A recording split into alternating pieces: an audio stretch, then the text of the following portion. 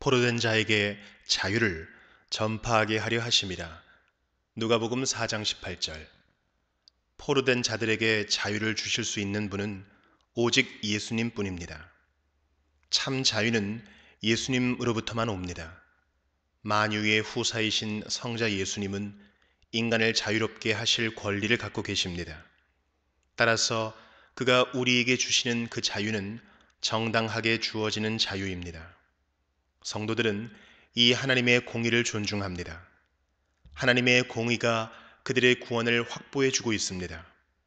그 자유는 또한 큰 희생의 값을 치르고 얻어낸 자유입니다.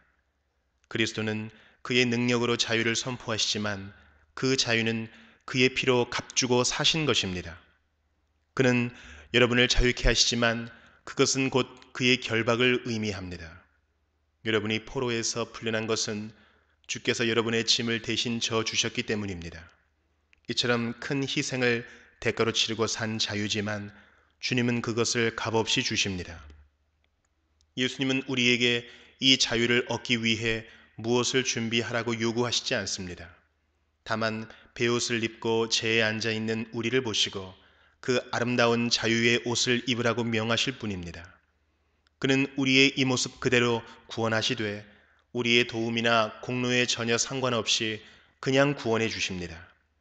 예수님이 주시는 그 자유는 영원히 보장된 자유입니다.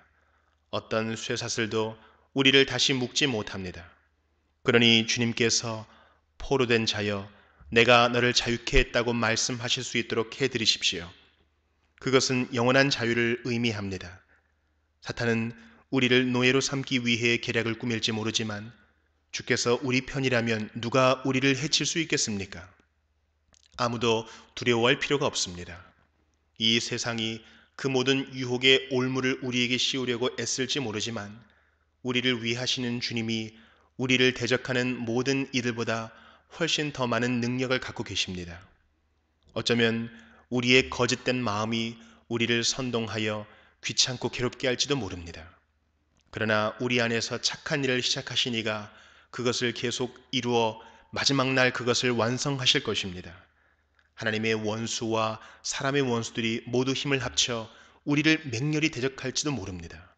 그러나 하나님이 우리를 죄 없다 선언하시는데 감히 누가 우리를 정죄할 수 있단 말입니까? 그리스도가 포로에서 해방시켜 주신 영혼은 사실 험한 절벽에 있는 둥지로 날아갔다가 거기서 다시 저 구름 너머로 높이 날아가는 독수리보다 더 자유롭습니다. 여러분, 이제 더 이상 율법 아래 있지 아니하고 그 저주로부터 자유함을 얻었습니까? 그렇다면 감사와 기쁨으로 하나님을 섬김으로써 여러분의 그 자유를 실제로 나타내 보이십시오. 나는 진실로 주의 종이요 주의 여종의 아들 곧 주의 종이라 주께서 나의 결박을 푸셨나이다. 주여 무엇을 하리이까?